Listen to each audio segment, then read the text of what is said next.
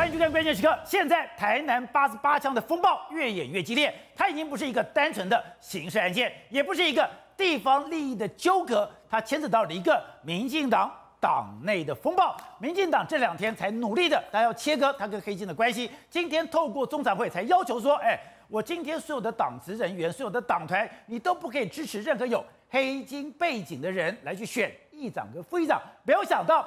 民进党的立法委员陈廷飞今天就开着记者会，开记者会就讲，现在的黑金已经介入到了民进党的台南市长的，因为台南议长的这个选举里面，而中间的关键人物郭在兴也就被认为说，他的住所被开五十八枪的郭在兴，他直接的就跟郭信良直球对决，他说现在的风暴就是郭信良你要选议长。陈廷飞，你要选市长，这跟他一点关系没有。而且他直接指控郭信良说：“我对你多次情义相挺，不但借钱，还展期延票十几次，表示我们两人之间有金钱往来。如果你说我是黑金，你说我是金属的话，那我跟你的关系又是什么呢？而八十八枪源头到底是如何？我们看台南市警局的局长方小林讲，他就讲说，分局辖区的太阳光电产业跟黑枪。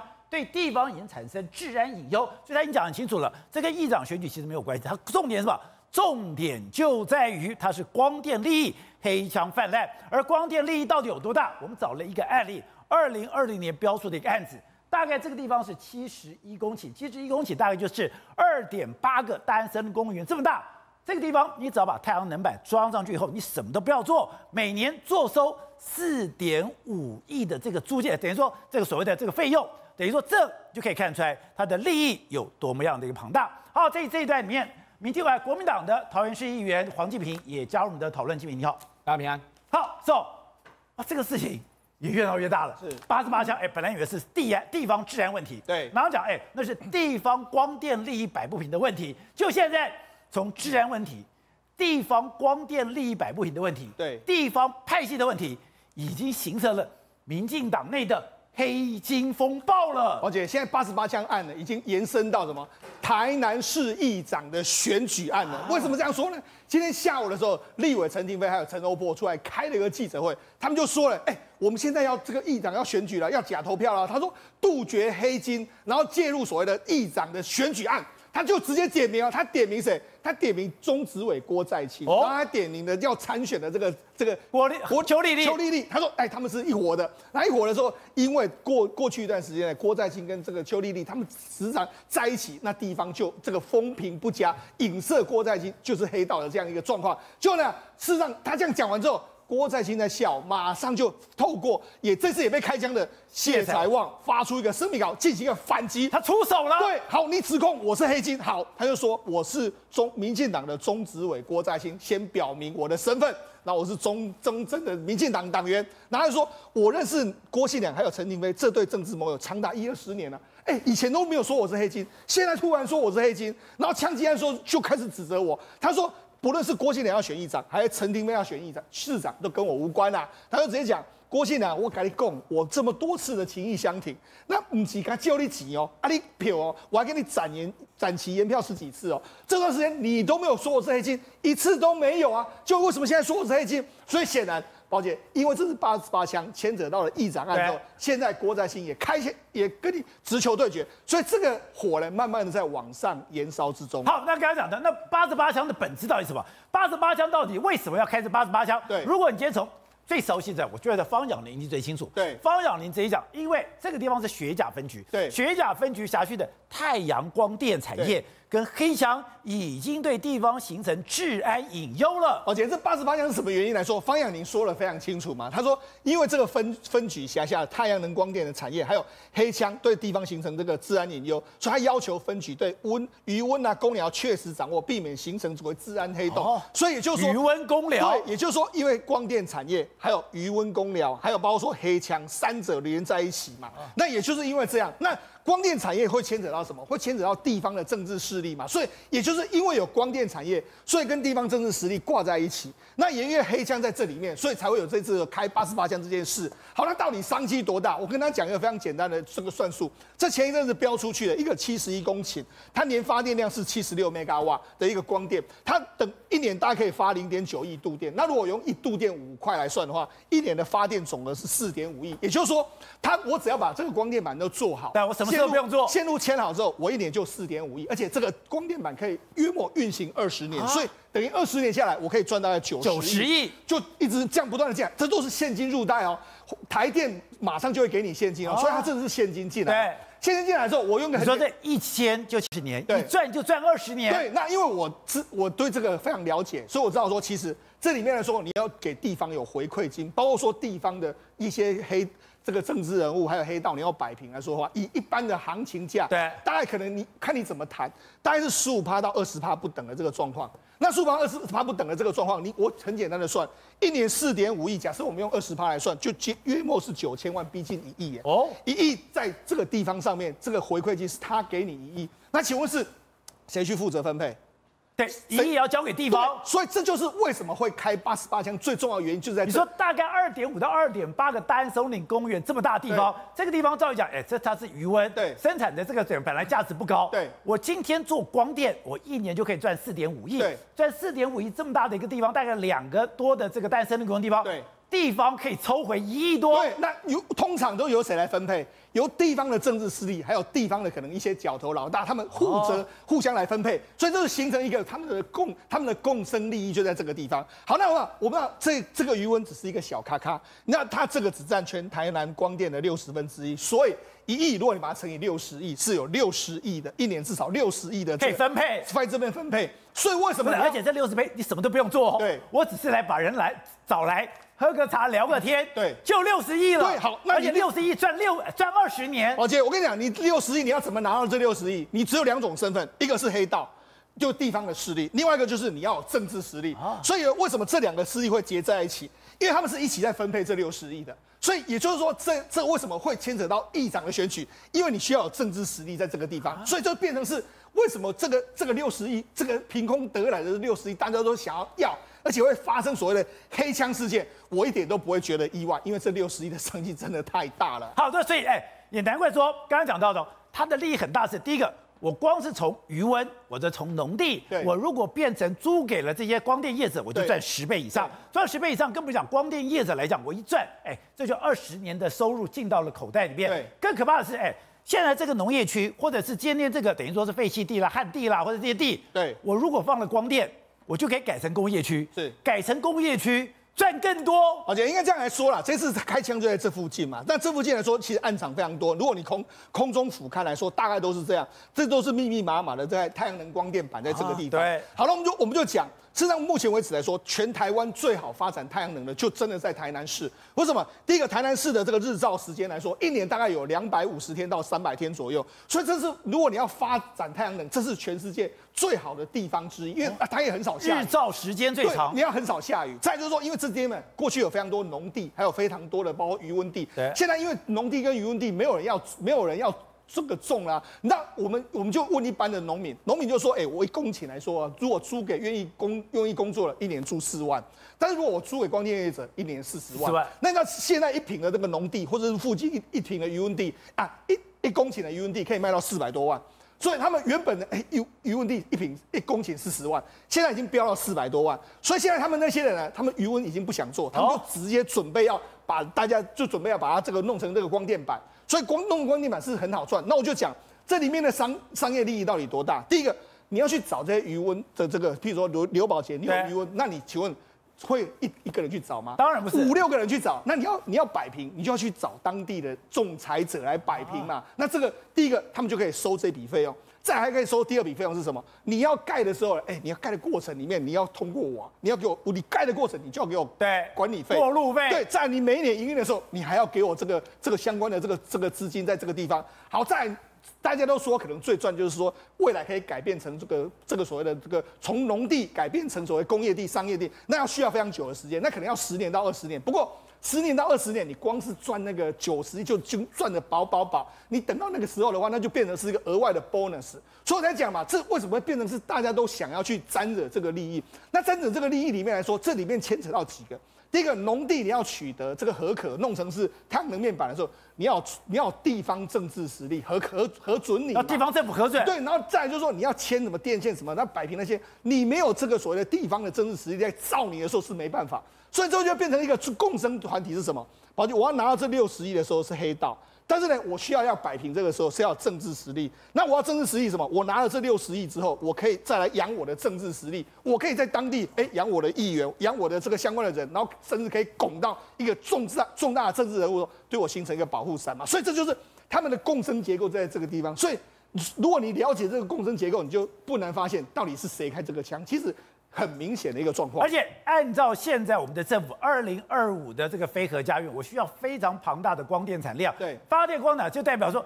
你只要有办法有地，对你只要有地可以装，你基本上都可以通过。对，因为现在是所谓的台电都买单。对，因为现在是所谓的联省的这个机制。那联省的机制来说啊，事实上市政府还有议员都扮演一个非常重要的角色。那你看，实际上我们的黄伟哲市长就这样，你看某某某派出所楼顶怎么还没有利用太阳能面板啊？那某某学校怎么还没做？所以他很显然强力的在推这个相关的这个太阳能面板的这个状况。我觉得台南市警方也太扯，是哎，到现在跟检方。但是两个完全不同调了。抱歉，实际上目前为止来说，到底开枪的人是谁，没有人知道。哎，一开始是通气阳姑，现在又有一个孔祥志，对不对？那很多人就说，警方就说啊，这孔祥志根本不可能。那到底是谁开枪？实际上，如果从地方的来说法是这样。宝姐，我刚才不是讲嘛，有一亿元左右，光是那一个地方就有一亿元的这个这个回馈金。一亿元的回馈金过去可能是有当地的老大在负责仲裁，他负责在分配。但是因为呢，当地的老大过世之后，这一亿元呢，到底要落到谁的这个手上去分配呢？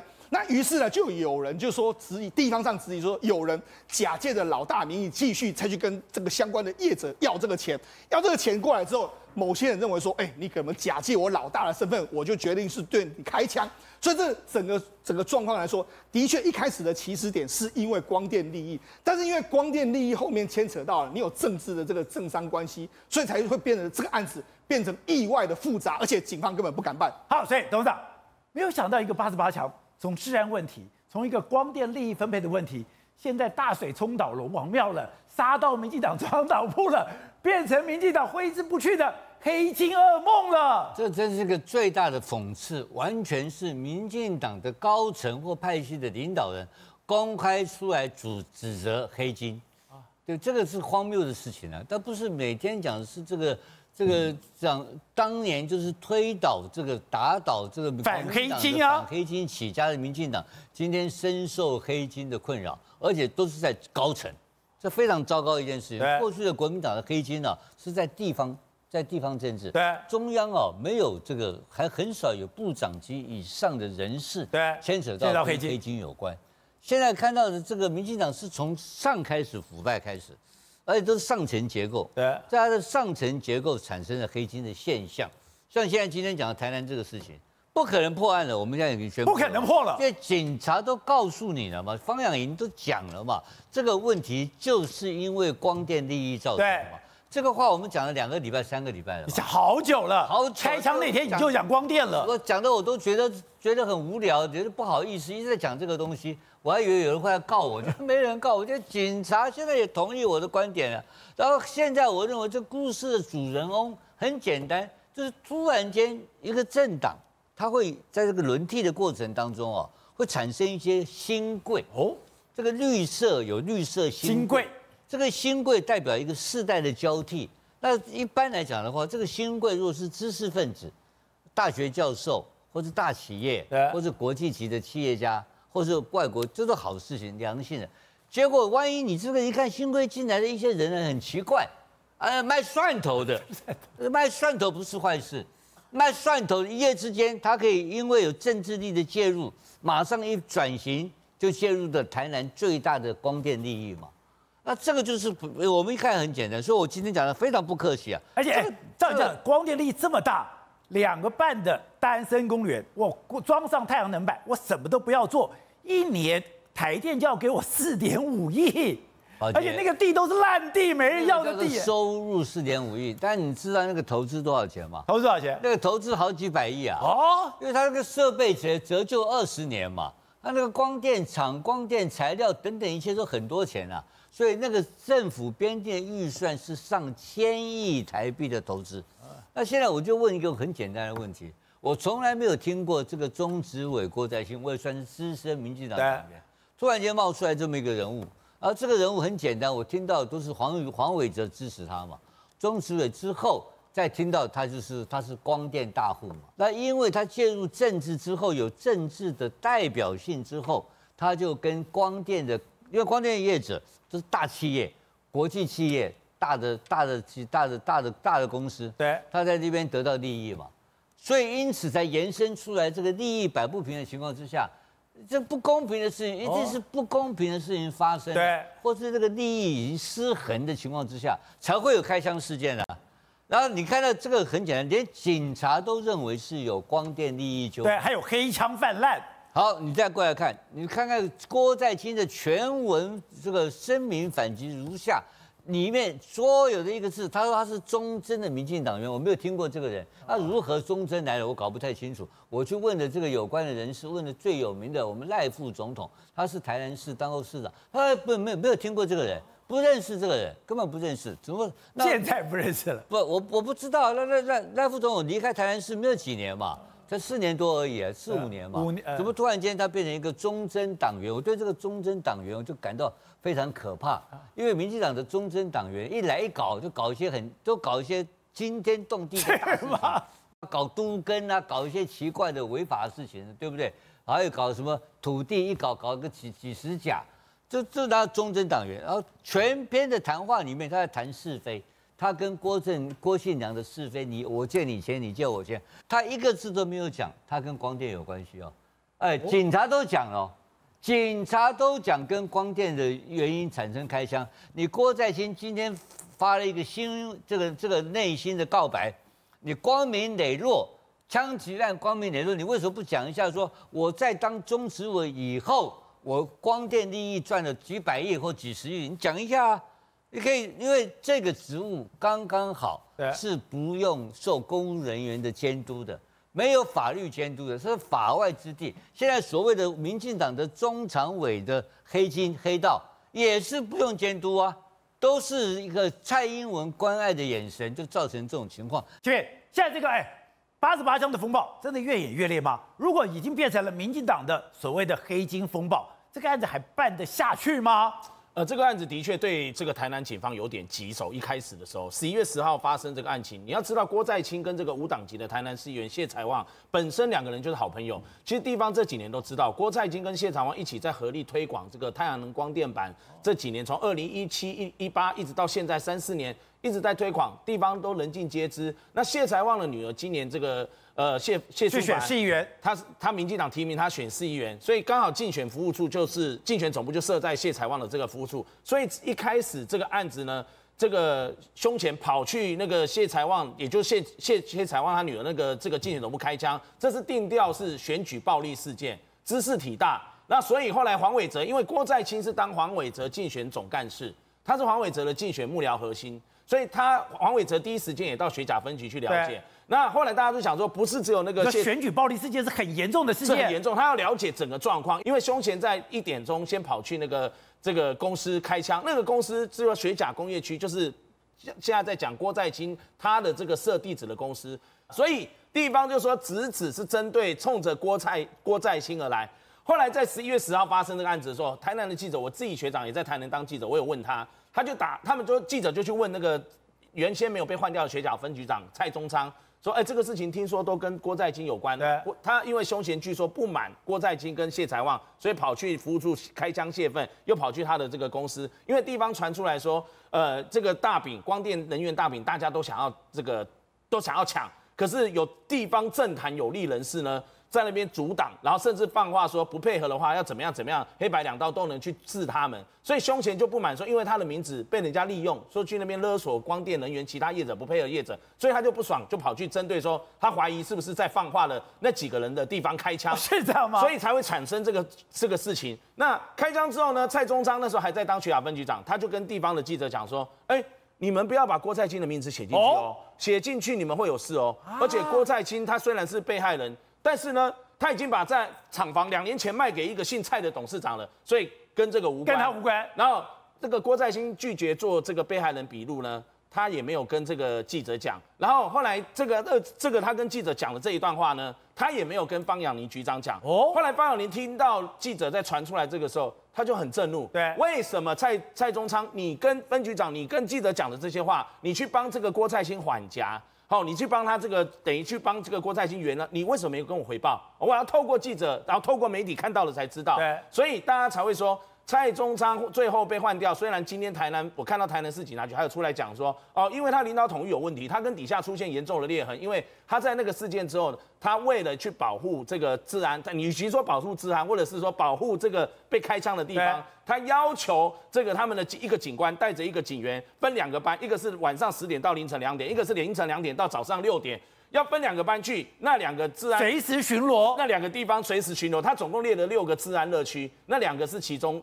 包含在里面，对，所以这些警官跟警察，他要增加他的勤务，白天还要工作，他累得要死。他以为他们以为说剩下选举十几二十天，选举过了就算了，没想到选举过后这个勤务还在，因为凶嫌没有抓到。对，而且据说那个洪正军昂姑啊，就是那个一开始被怀疑的开枪凶嫌，为什么被发布传查气专刊，就是传出来说啊，郭在清跟这个。呃，这个蔡中昌，然后蔡中昌就赶快去发布这个查气专刊，才会让这个凶嫌又更不满。然后你是不是当初透过各种压力，包括政治黑道、白道的，尤其是白道，然后派警察，因为每个礼拜都到这个凶嫌昂姑他的家人去骚扰他家，所以有没有看到他，他有没有回来啊？真假的？去找他，所以。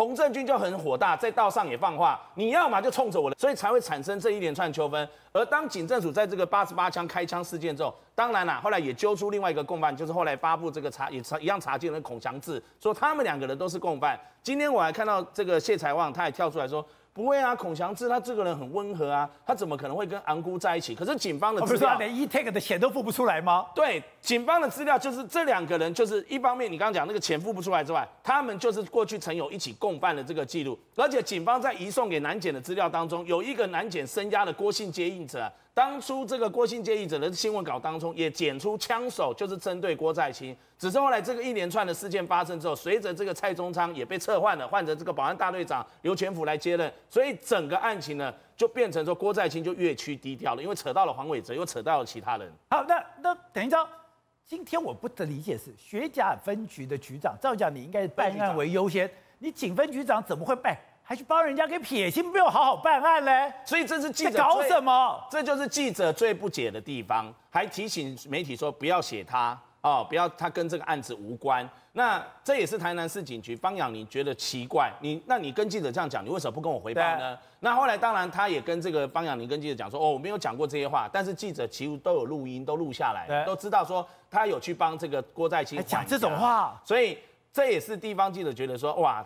因为郭在清那个蔡中章在今年一月才来，才从其他包括他当过警政署的科长，也当过连江跟台东县的警察局副局长，他才到任到台南，所以他其实就知道郭在清在地方狼兵就垮，然后这个党党政关系良好，尤其是市长的人，所以当时有人介绍他们认识之后呢，他也说，哎，他也知道郭在清这边 OK 啦，本来是寄望说在学甲分局这边做一段时间，有机会再到市警局或者是怎么样占一个高缺，结果没有想到因为这个案子。他也因为帮郭在清去讲话还家，连带的也跟着落马。好，所以正好你刚刚帮我们分析的是这个水非常非常的深，它已经从一个刑事案件、地方利益的纠葛，变成了政治风暴了。多单纯的刑事案件，陈廷飞为什么要开记者会，而且开这么多记者会？我先给大家看哦，导播，我们把这个电视弄今天陈廷飞记者会的画面哦，大家要注意哦，今天陈廷飞开记者会，我们看到都是陈廷飞，对不对？他左边坐这个人是谁？陈欧珀，太细，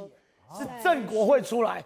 你要知道，陈廷辉今天如果先找郭锡良出来开的话，前一个找郭锡良，对不对？是救台南论台南，对不对？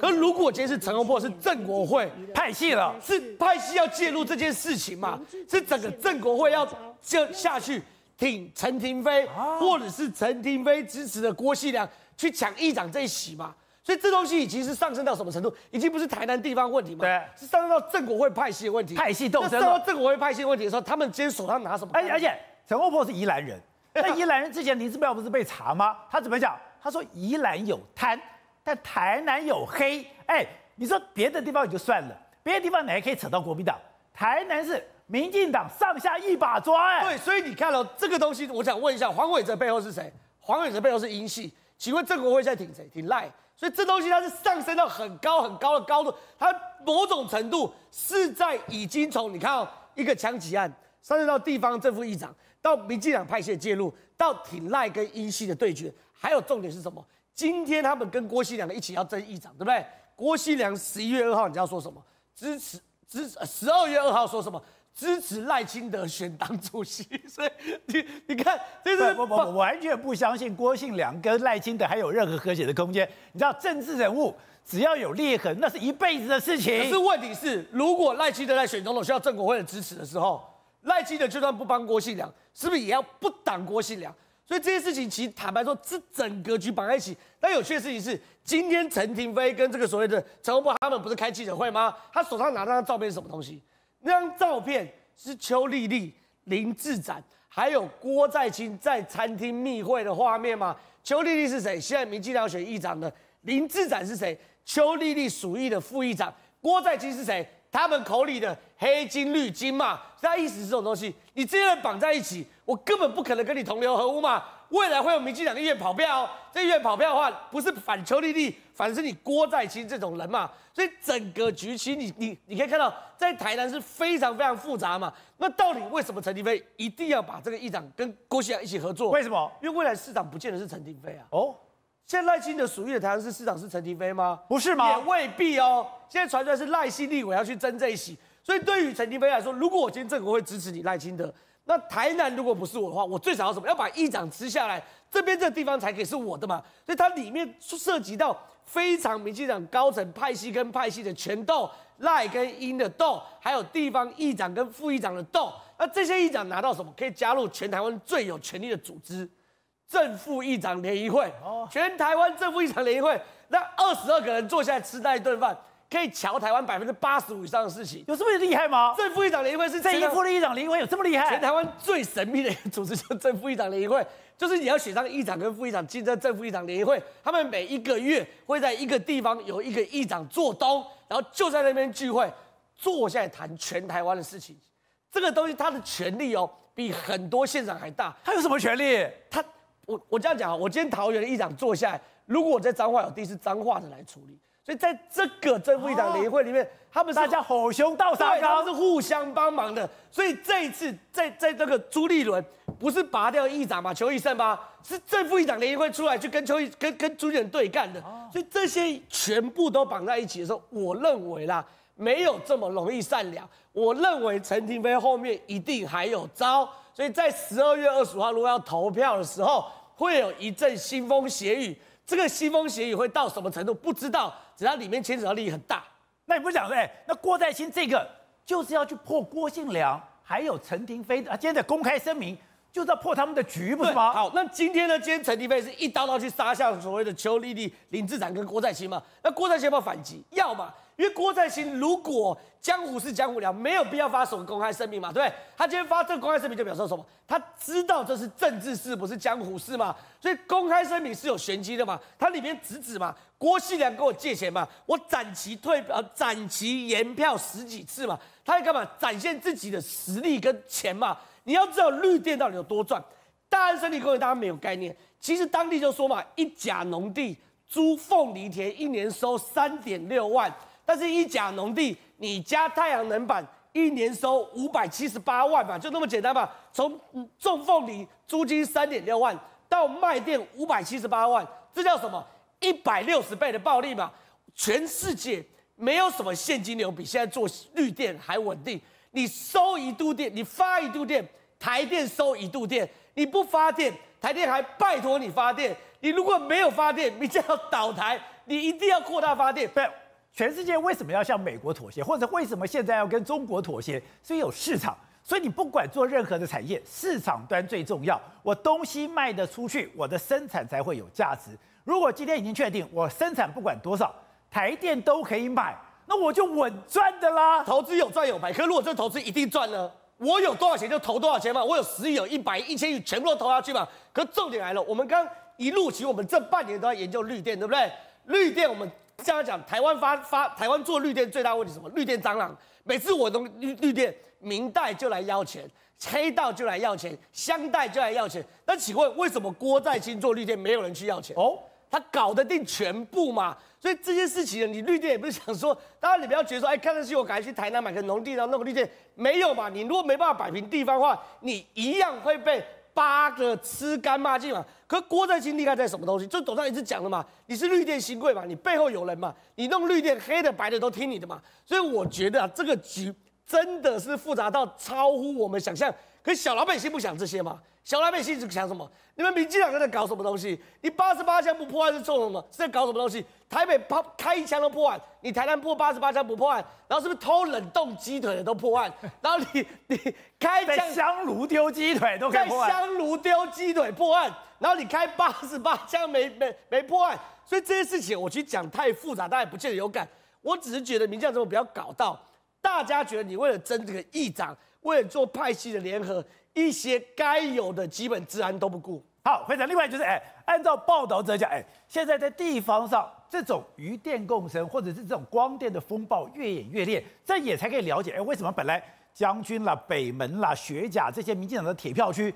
慢慢都褪色了。对他们特别去报道有关于这个七股这个部分，那为什么会说哎，整个很大的光电业，其中主要都在那个七股这边？原来啊，他们就说有八成的渔民哦，都属于这个渔温的承租户。那这样子，原本渔温主呢，他把这个租给你，让你去养鱼的情况之下，他可能每讲只能收三万到五万。但是他如果把这个余温变成是余电共生，租给光电业者的话，可以每甲收到四十万。所以换句话说，就很多的渔温主就想说啊，那我不太想租给你去养鱼了，我租给去光电，光电那不是很好吗？那真正在养鱼的就没鱼可以养了，没有鱼可以养。而且你知道吗？原本事实上好像在这二零一七还二零一八年的时候，他们有农委会有一个相关的条文，就是说你要那个绿电共生哦，你要经过这一些渔温组的同意。那渔温组有一些就说哦好啊，你本来讲说啊，那渔温在这里，那我在这边养鱼，你光电架在上面，感觉听起来不会影响啊。所以这些承租户就说，那一起为环保也没什么不好的。就发发现说，哎，在台积不是这样子的，因为当你同意之后，他们就说，哦。现在呢，余文主弄给我光电业，我等于是有点像是地主的角色。我告诉你，你要养鱼可以，可是呢，我要把这个鱼温再弄深啊，我要怎么样怎么样怎么样？后来那个那个承租养鱼的那个人说，不行啊，你如果再弄深，我这个蛤蟆我就没有办法这样养了。所以他就变成是巧立名目，用很多的方式让你其实承租户同意之后，事实上你没有办法继续养下去。就你没有办法继续养下去之后，他就变成整个被赶走。所以他们就报道，他们报道者就找到这一个一个叫阿明的，他说：“我早在十年前，我就跟这个余温主哦去承租这个石甲的余温地来养那个蛤蟆，结果没有想到他们让他弄一弄，变成是我反而是被踢出去的。而这样的事情越来越多，所以你有没有看到他们之前去拍大概八九月的时候，七股很多的那个渔民哦走上街头，全部都喊着。”救渔民护黑皮就护黑面皮路，所以他们就讲到说，这就是为什么在当地会引起这么大的反弹。而这一次九合一选举里面，黄伟哲在这里的票数整个被翻过去。好的，这样看起来，哎，连黑面皮鹭都没地方住了。以前为什么要反五星？反五星就为了黑面皮鹭的家。就现在光电。大大压缩黑面琵鹭的栖息地了。我跟你讲，黑面琵鹭基本上被要挟啊，你知道吗？博汤 家，我好我讲，他们说黑面琵鹭原本就是吃这个大概一万两千啊一一点二万公顷的这一些余温的一些小小生物啊，然后一些小虾子啊。都是靠你看画面这样，都是吃那些东西来赖以为生。就现在变成是他们没有办法吃那些东西，因为这些所有的余温上面全部都要架太阳能光板。所以他们就没有办法再吃那些的生物，所以在这种情况之下，黑面琵鹭已经越来越来会少在这里面出出没，所以后来就很多的，包括本来这边附近有很多的咖啡厅啊，或是在附近有很多的一些业者都说，我现在因为黑面琵鹭的越来越少，所以观光客越来越少，所以我的咖啡也卖不出去，我的餐厅也也没有人要来上门吃，所以导致这一区已经有越来越多本来是靠着黑面琵鹭的这样的观光潮的。人现在都某行李行后者啊，而这样子都会变成是一股一股的民怨，还有包括什么样呢？还有包括居住在这附近的人，居住在附近的人，他说我们家前面这条马路，真的是每个每个月几乎都在挖挖什么挖，就是太阳能的这一些什么光电业者要去买轨那个轨线。所以导致他们真的是路都不平啊！所以这样子的民怨，从做生意的、从居住的、从渔民这一个一个民怨加起来，就变成推翻黄伟哲二九合一大选选票最重要的关键。